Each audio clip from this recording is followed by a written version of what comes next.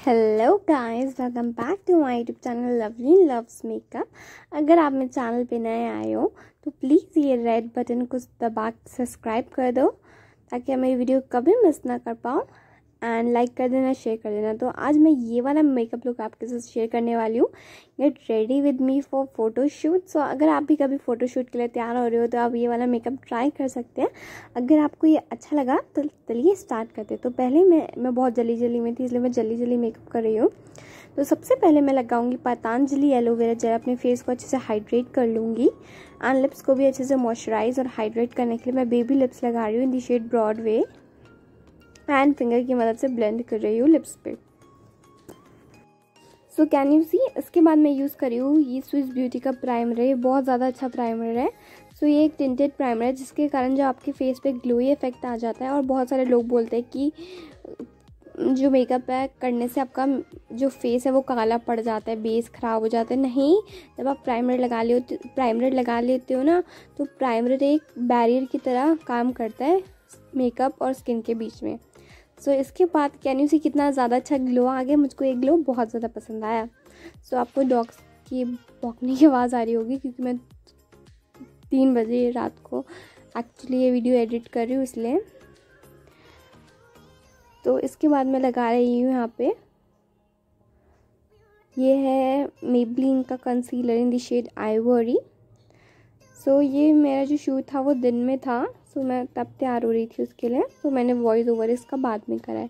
तो मैं इसे ब्लेंड कर लूँगी। एक्चुअली मुझसे तीन शेड लाइटर था गाइज़ लिटरली तो कोई बात नहीं, मुझे लग रहा था कॉन्टोरिंग कर करके मैं ठीक कर लेती हूँ उसको अब मैंने लिया इतना महँगा कंसीलर तो I have to use it so मैं जैसे तैसे यूज़ कर लेती हूँ उसको। तो मैंने इसको अच्छे से ब्लेंड कर लिया है। इसके बाद मैं ले रही हूँ एन वाई बे का कम्पैक्ट इस, और इसकी मदद से अपने पूरे बेस को सेट कर लूँगी। इसके कारण क्या होगा, जो मेरा मेकअप का बेस है, वो बहुत ज़्यादा लॉन्ग लास्टिंग लगेगा एंड बहुत ही ज़्यादा अच्छा लगेगा।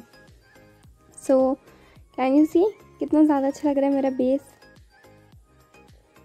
मुझको तो बड़ा पसंद आ रहा था यार, ये मेकअप लुक एकदम सटल और इजी टू क्रिएट एंड बहुत ही ज़्यादा ग्लोई और अच्छा था। इसके बाद मैं यूज़ कर रही हूँ क्या? इसके बाद मैं ब्रोज को फिल कर रही हूँ। From Swiss beauty eyebrow filler तो जो मैं नेचुरली फिल फिल कर रही हूँ, क्योंकि ना आप फेक फिल करते हो तो लगता है आपने अलग से बनाई है। एंड मुझे फेक आईब्रोज बनाना एकदम पसंद नहीं है। हाँ मैं नेचुरली फिल करती हूँ। कैन यू सी एकदम नेचुरल लग रहा है, जिसके कारण मेरी ब्रोज इसके बाद मैं क्या कर रही हूँ? इसके बाद मैं एक ब्राउन शेड ले रही हूँ फ्रॉम हुडा ब्यूटी पैलेट ये ओरिजिनल पैलेट है। आपके पास कोई भी ब्राउन शेड हो तो आप अप्लाई कर सकते हैं।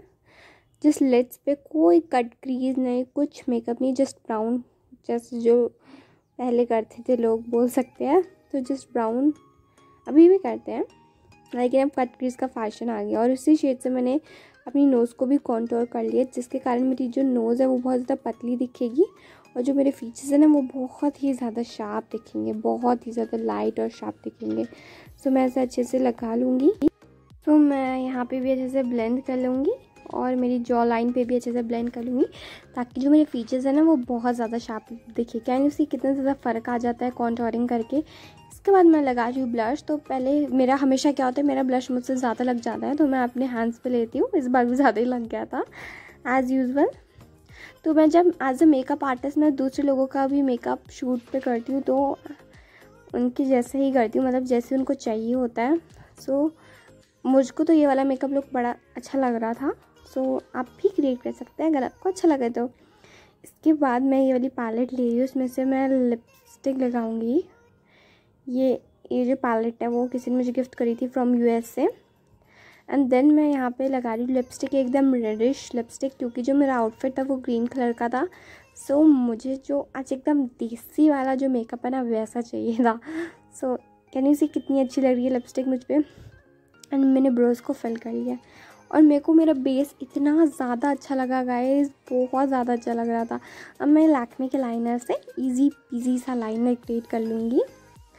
सो so, यस yes, ये बहुत रैंडम सी वीडियो अगर आपको अच्छा लग रहा हो मेरा वीडियो तो प्लीज़ मेरे चैनल को सब्सक्राइब कर देना। आपका एक सब्सक्राइब मेरे लिए बहुत इंपॉर्टेंट होता है। मेरे को बहुत अच्छा लगता है।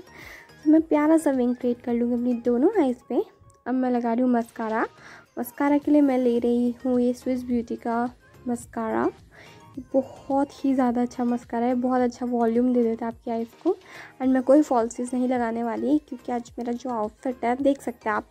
एज अकॉर्डिंग टू फ़ोटोशूट मैं वैसे ही मेकअप करती हूँ ना तो मुझे पता होता है मतलब कैसा आउटफिट पे कैसा मेकअप अच्छा लगेगा। So so, yes yes.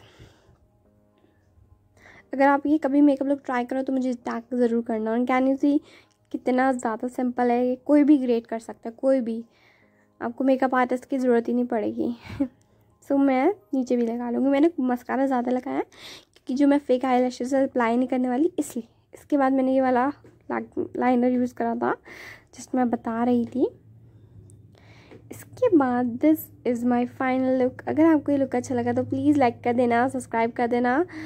And thank you for watching my video I love you so so so much bye